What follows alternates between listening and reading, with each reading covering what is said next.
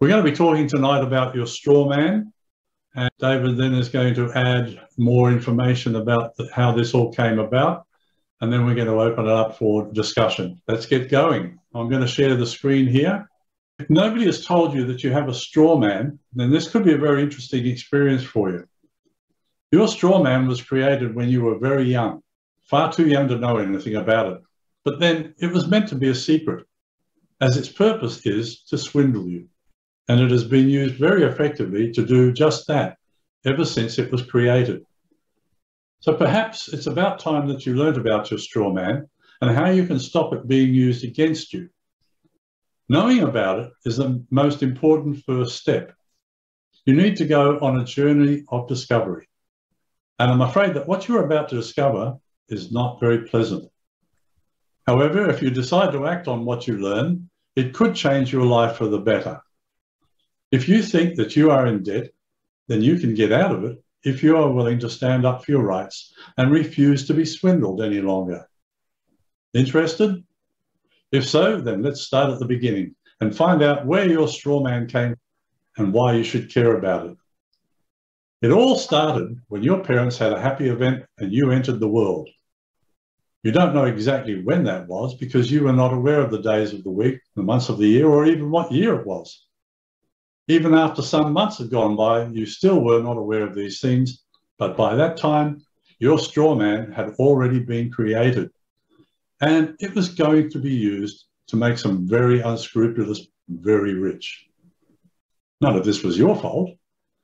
It happened because your parents were fooled into thinking that they needed to register your birth and get a birth certificate for you. Now, you might recall on previous videos we've made when you register something, you give the ownership of that item to somebody else. And so your parents didn't know this, so they applied for a birth certificate, not understanding what would happen when they did. So what did happen? According to the local authority, one, they lost ownership of their baby, that was you, and two, they allowed a straw man to be created. It's not something that they can be blamed for, as nobody told them it would or even could happen. Nor did anybody tell them what a straw man is or how it can be used against their baby. In actual fact, the registration is a contract. And in reality, it's null and void because there was not full disclosure by the local authority, nor was there intent to contract on the part of the parents. They just, they just thought they were registering your identity with the government so that you could later on deal with the government, get a passport, and all the other good stuff that governments supply. And I cough there because it's not really true. So the registering of a baby's birth actually passes ownership of the baby to the local authority, and that alone allows the local authority staff to take their child away from the parents if they ever want to do that. And we're seeing this happening more and more in Australia, aren't we? This applies until the child reaches the age of maturity set by the current legal statutes. Doing that is not lawful, but after the birth has been registered, it is legal. And there is a world of difference between those two terms, a difference which is very important for you to understand clearly. So, ownership of the baby means that you actually do not belong to yourself. So when you go into a courtroom, it's not you walking in there because you have been summoned by the all capitals name. That is your straw man. So Tricia corrects this information stating there is no application for a birth certificate. The state creates one no matter what, with or without any parent providing information. The paper on which they provide information is called an information sheet, not an application. The parent signs only as informant, not as any applicant. The baby is not registered at all. Only the birth event is registered, which is the birthing of the new fictitious entity name being created by the state. And once it's created, the state must use your name in all caps to deal with you. So if you get a speeding ticket or a fine in the mail, you'll notice your name is in caps. So the state then issues you a certified copy of the original, which the state keeps as legal title to that fictitious entity name. You merely use the state-owned legal person to conduct any commerce within the state regulated legal system of commerce, all of which is just fiction. Even when the parents signed as informant, that was not their signature they signed, but the signature for this fiction name the state owns and created after they were born. Everyone has a copy of the birth certificate, is authorised by the state to use the state property name and authorised to sign that name for that name. Everything you use that name for is all liability of the state. It is their property. They hold original legal title to it. The only reason everyone has problems from using that name is only because they believe it is their property. So they make claims to that name because of merely believing that is their property, which is actually a false claim they make against state owned property. It's the same thing with your car. When you register your car, you're actually giving the state ownership of your car. You no longer own it. That's why they will fine you, why they will take your car if they don't like the way you behave. So anytime a claim is made in any court, that claim must be bonded or insured. So your claim becomes your consent, where you pledge your body and or property as your bond or insurance as surety against your claim. When you lose, they take your body and put it in jail, while their bond created cures. Or they take your property to pay your loss in court for your claim, which you made. Good grief. And people wonder why, when they go to court, they lose. So, da David, would you like to comment on that? In a seminar that we're creating, Mike, to teach people all about these things, comprehensive seminar that we'll be releasing soon, I set out the seven rules you need to understand to, to beat the fines and confront all of this, of this injustice. So last week we spoke about Whitlam in 1973 converted all of the government into private corporations and by doing so, he effectively separated them from the Constitution. That's rule number one. Rule number two from that point on, all government activity has to be conducted via contracts where the terms are set out and each party agrees to the terms. Rule number three under the Constitution, a private corporation cannot enter into a contract agreement with a living man or woman. Rule number four Therefore, the government has to create a twin person for each individual, and that twin has to have some kind of corporate structure that can enter into contracts, which is what Mike was just describing. So they allocate to each person a personal trust, which we're referring to as the straw man, or a Cestui Que trust, which you are tied to at birth, as Mike has just explained. Rule number five the government, local council, or whoever sends you a bill, an infringement notice, or rates notice, whatever, it must be in the form of an offer for contract. So it can't be addressed to you, the living individual. It has to be addressed to your corporate twin. And it's easy to notice that who it's addressed to your twin because they always define your twin in capital letters, as we just explained. Rule number six, under law, this bill is only payable by you, the living individual, if you decide the terms are fair and reasonable, you must then accept the contract on behalf of your twin, the trust entity assigned, it, assigned to you at your birth. If you don't think the contract is fair and you don't want to agree to it, you don't have to. You simply announce, I do not consent to contract, and that's the end of the matter. And those seven basic rules are the very stuff of what the common law issue is all about. True. All right. We've got a few people in the audience here tonight. Anybody would like to ask questions or make comments, discuss it? Who's first? Michael, I'm sure you've got some very good ideas about this and can help educate people.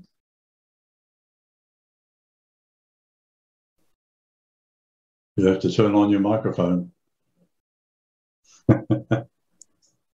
Yeah, no, I, I'm, I'm familiar with what you've been reading, and I'm just, if you want to, I don't know, if you want to see, I don't know what to add, to be honest. Sorry to put you on the spot, mate. Okay. well, you could probably comment, Mike, in terms of how this actually works in, in real life, since you've passaged through over 100 court cases confronting this very issue, right? Sorry, I'll, I'll catch me up on it. What was? I wasn't So really. you, you've seen this uh, working in real life yes, yes. with uh, court cases where In court case, yeah. yeah, where people are basically writing to the, they get an infringement fine and they write to the government and they go, I'm not going to, I'm not going to consent to this contract. I'm not going to join myself to it. I waive all of the benefits. And then they actually say those things in court. And your court appearance can be that simplistic, can't it? It can be very simple. When you're front, court, courts have no jurisdiction over you, and that's the that's the most important thing to remember when you walk into the court. They, there's physical bodies in there that think they're your masters, and they're actually nothing. They they just don't have any power over you unless you do consent to what they're doing to you. Basically, mindset would be that who they've called in there is your straw man. It's not you. It's not you, the living man. It's the straw man. So it's very important that whoever does turn up in court is very clear in mind and uh, is uh, very clear in mind that they they don't join the, with the straw man that's been called in there. You are not one and the same. You are totally separate. And that's why it's important to use words like uh, "I'm the beneficiary of the trust that's been called in here today." Am I making sense? Yes, Yeah. at least for me. And yeah, language and is it's things like that. It's things like that you would say throughout the whole court procedure because they'll constantly try and change the direction of their court to try and stitch you up, uh, try and trip you up so that you unwittingly have joined it with them. So it's important to say my philosophy with everybody is uh, little is more. Hmm. So don't go waffling on, don't be in an argumentative way, arguing with the what the prosecution says or whatever. You can say the odd objection hearsay or objection presumption. You know, you, when the prosecutor's talking, so you cancel everything that he says out. You want to try and keep you and the judge separate. you don't want to join it with him. Once he joined us, once you joined it with him, he's got you. Yes, I think that's a, that's a very valid point. Uh, whenever you're dealing with these people, whether it's the police or the courts, silence is golden. Say as little as possible, and the police will tell you if they've come to get you. Anything you say can and will be used against you. Everything before. That's everything. Your interaction with them, everything before they arrest you and then read you your Miranda rights. Hmm. Everything you said before that is still counted in building their case against you. That's Correct. why you just don't answer questions. When they ask you one, oh, I don't answer questions. And you remind them, I did not, I didn't consent to contract. Why are you still talking to me? I didn't consent to contract. You know? And implied or stated by by an ABN employ a corporate employee. I don't even call them police officers. I'm respectful. You've got to stay within yourself in honour as a human being. You've got to be in honour, but you uh, you can make get your point across firmly, respectfully, but very short. Keep it very short. All right, let's do a, let's say a policeman has pulled me up. And my advice is always when you stop by a policeman, you lock all your doors, you wind up all your windows and just crack open the driver's side just enough to talk to the policeman and if necessary, hand in paperwork or whatever. breath tests are actually illegal. They Mm. can't, they don't have any authority to do that. They constantly do. They, in their own mind, think they got all the right in the world because they wear a blue uniform and a gun on the hip. But actually, there are court cases that say they're not. If they ask for a driver's license, you can ask for their ID first. It is uh, police policy. They must identify you, identify themselves fully. If he's done it, I'm such sergeant such and such from from the precinct, and then ask for his badge number because they generally won't quote you the badge number. They just say I'm sergeant so and so from Maroubra Police Station, traffic control or whatever, and, and he'll or, or usually just ask ask for your driver's license. When you do so, give it to him, but but say under duress, here's the government property. Okay, I'm going to share the screen now because you said something before that they have no right to stop you, especially for an RBT. And, Yeah. and anything else, in fact, too, because even a red light, if you go through a red light, they can't stop you. And this has been told to us by three court cases Regina versus Banner, 1970, Andrew Hamilton versus the Director of Public Prosecutions, and Magistrate Duncan Reynolds in Melbourne, July 2013. And basically, I'm going to read the first one because I think he explains it very well. In this judgment, the Northern Territory Supreme Court handed down a ruling that police officers have no power whatsoever to arrest or detain a citizen for the purpose of questioning him or her or of facilitating their investigations. It matters not at all whether the questioning or the investigation is for the purpose of enabling them to ascertain whether he is the person guilty of a crime known to have been committed, or is for the purpose of enabling them to discover whether a crime has or has not been committed. If the police do so act in purported exercise of such a power, their conduct is not only destructive of civil liberties, but it is unlawful. So the police have no right to stop you unless they believe you have committed a crime or they have seen you commit a crime. And a crime is not going through a red light. That's only a legislative misdemeanor. A crime would be killing somebody, assaulting somebody. So you need to know what your rights are.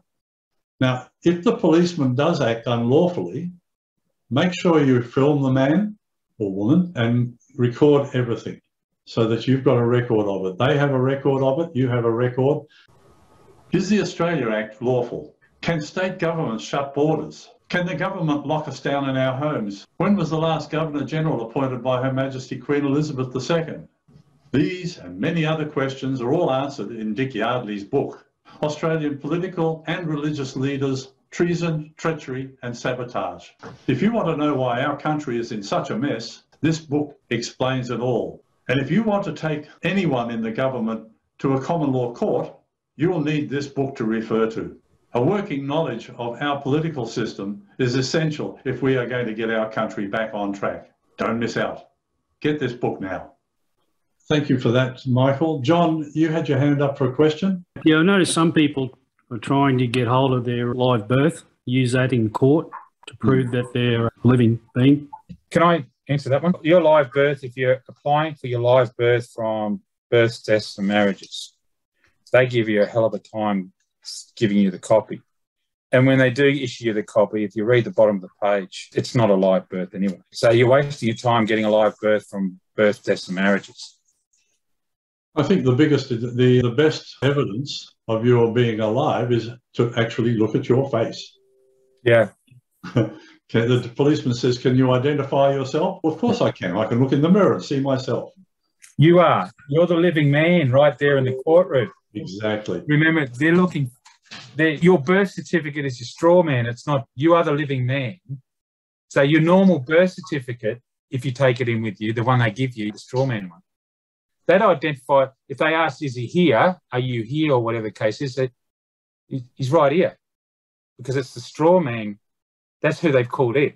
Mm. I'm the beneficiary of this. Mm. so you don't need live birth to be presented in court. They can see you're alive, you're flesh and blood. If you look at your birth certificate, it shows your name and your father's name and mother's name but your name is only your Christian name or Christian in the middle name. So my name is Michael Thomas of the family Holt.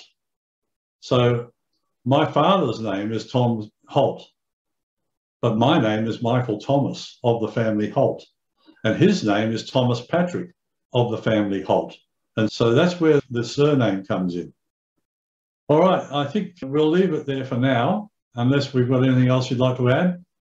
I think maybe just finishing the understanding this simple fact, and it is very simple, but very difficult for people to get their head around. And it takes quite a bit, doesn't it, Mike? It's it's hard it's, to understand. really difficult for some reason to understand. Uh, even talking about myself, but it is the key factor in understanding your rights and where they come from, and the division between the Constitution and the statutes that they're throwing at us, and the way that they're trying to get away all the time with imposing all kinds of rules and restrictions on us, it's all the nexus between our understanding that we are a living man, a living woman, and their statutes are related to that straw man. It's a key part of what we need to learn. Yeah, one of the biggest, the hardest part for, that for me before I understood all of this was people kept telling me, you need to establish your live living self when you go to court because we're dealing with a government corporation. And I kept saying, what are you talking about? We have a constitution, and that constitution is the highest law of the land and designed to protect me. And they kept saying, yes, but when you go to court, that's not you appearing in court. That's your straw man. And I'm thinking, what's a straw man? And so I hope that tonight this video will help people to understand the difference. We are two identities. One identity is the living human being, and the other one is our straw man, which we use to deal with bureaucracy and courts and police, etc. And now, a word from our sponsor, who helps keep these podcasts going. RedPillHosting.com is your one stop shop to buy your perfect domain name. Then get your own hosting server, or buy our easy to use website builder from just $8.99 a month. Yes, you heard that right. Just $8.99. Building your own website can feel like a daunting task. Who wants to deal with code anyway? Website Builder makes it simple to create a modern, professional website with no technical knowledge required. Share your passion online. With redpillhosting.com you get responsive mobile design, professional website hosting, rapid page load performance, secure SSL, 24-7 support, and much more. Do you need a shopping cart to go with that? We have just the right one for you. What sort of server do you need to host your website? We can advise you on the best solution for your needs. Choose Linux, Windows, or VPS hosting. Select what type of back office management system you need, from cPanel, Plesk or WordPress hosting. No matter what you need, redpillhosting.com is the place to get it. Visit us at redpillhosting.com whenever you need us. Mike, I've got a question if I can ask. Sure. Yeah, I've still got my original birth certificate, which I've had for many years. It's dated 1949, and at some stage it got misplaced or lost, and it did turn up a few years later. However, in the meantime, I had to get a copy of the birth certificate, and the copy actually looked very different and probably a third of the size Mm. of the original, which was like a foolscap sheet size, the original, very elaborate looking. But the birth copy is just a pretty boring piece of paper. I, I'm just thinking, my question is that original, which I've got, I guess my parents got it back when I was born or soon after. Uh, I've still got, is that the s- straw man document that you're talking about? Michael, would you like to answer? Yeah, sorry. Copying. No, I'm just going through my QSIPs. So I've, I've done searches on my QSIP. So yeah, sorry. Yeah, sorry. Can you just answer the uh, ask the question again, please? I think to sum it up, the original uh, birth certificate that Yeah. Peter had, and it's the same for mine, uh, was pretty elaborate looking and quite official looking, and yet the copy was very different. But does that original uh, birth certificate establish him as the straw man? Yeah, it does. Yeah, my birth certificate when that I was born with, I was born in Adelaide. I think South Australia was the last state to actually go electronic, and then everyone gets an electronic number. Mine's actually on there, written on there, saying that it's a book number thirty-six, page twenty-nine, line twenty. That's how it's telling. It's it tells you on this birth certificate what book, a book number you got to look in, and then tells you the page and the line number and everything where I've been registered. So I haven't ever, uh, since I was born, I've never gone to birth, deaths, and marriages and asked for a, a new birth certificate because if I have, if I had, they would send me one of these brand new Fandangle things, and it would have a long number in it. So it'd be, have nine nine numbers in it or something like that. Yeah. So, um, Yeah, yeah, your birth certificate is the it's the start of all evil. your whole life, you live your you're living your whole life thinking that you're that you are a person, which you are, but you're government property. And everything every time you sign, every time you make a contract with the bank for a loan or credit card or car registration or whatever the case is, you've just recontracted with them. And they don't tell you, they don't disclose you they don't disclose everything to you either. Okay, well, I've got uh, another question to follow on from that. Then, if my parents never registered or allowed my birth to be registered, I'd have no birth certificate. Therefore, I'd have no government identity. Therefore, I couldn't apply for a bank account. I couldn't apply for a passport. Couldn't apply for a driver's license. So, what happens then? I'm 60. I'm 60 if I was born with no birth certificate and I, my life carried on like it actually did up to the age of 60, I'd be a very rich man. I wouldn't need the government. I wouldn't be paying income tax. You'd be surprised just how much tax you pay out of every wage packet. And if you didn't have to do that and you lived off the grid, you wouldn't need it. You'd have enough money if you needed medical attention. You could go into a doctor and pay cash. You go if you need an operation, you go in there and negotiate a price because you're paying cash. Mm. Yeah. All right. Thank you all very much for coming along tonight, and I hope this has been helpful for you to understand the difference between you, the living person, and you, the straw man. Good night. If you're enjoying the Bloody Aussie Battler podcast, please consider donating to help keep us going. You can donate just once or make it a monthly donation. Any amount is welcome. To donate, go to our website at www.thebloodyaussiebattler.com and click on Donate.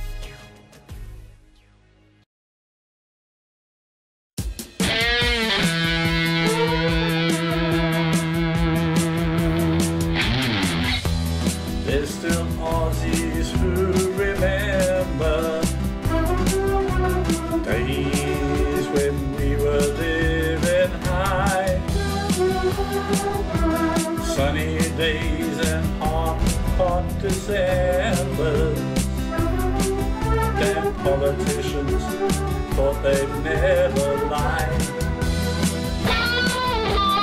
We made everything that we needed. Jobs were there just for the taking. But the warning signs all went unheeded We didn't see disaster in the making. People will stand strong and true, standing for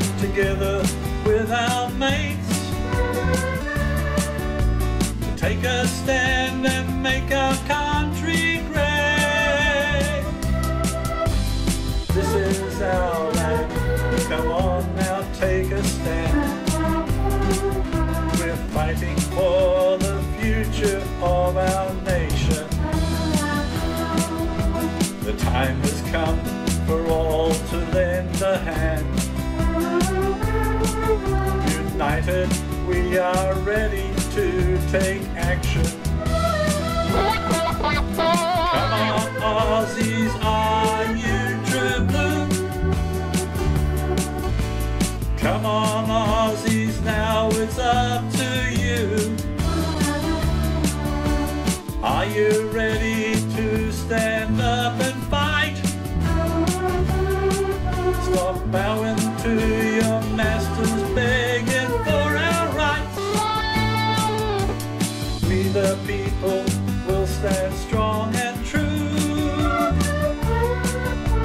standing for the red, white, and blue. Time to join together with our mates to take a stand and make our country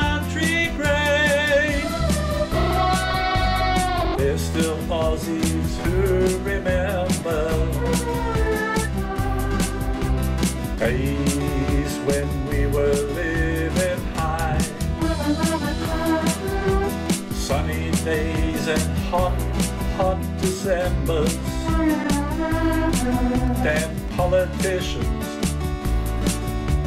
thought they'd never lie. The people will stand strong and true, standing for